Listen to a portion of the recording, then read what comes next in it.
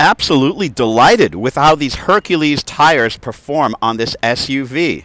It's a great name for a brand, but I had honestly never heard of Hercules tires before, and I'm so glad that I took the risk. I read the reviews online, and this is where an educated consumer and customer goes. You go online, you read the reviews, you see the technology, if you go in person into the store, you're only going to be upcharged. You're not going to get an amazing value on high performance budget tires like this. They don't exist in the store. You will pay $100 more for the exact same tire. Please, please, please don't do that.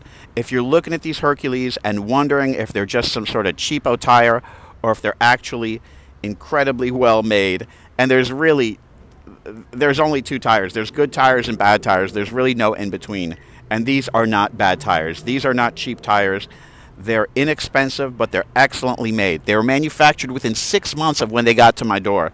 So super, super fresh. And look at the tread on that. For the 20,000 miles that we've had them, these Hercules have performed incredibly, incredibly well. And they don't look worn. They're not cracked. Excellent, excellent tires. Almost like that Michelin shape, like the slightly rounder shape as opposed to the Dunlop more square racing shape. And what that equals is more cushioning for your passengers, more softness in the ride, less bumpiness. Guys, these Hercules tires are excellent. Definitely get them.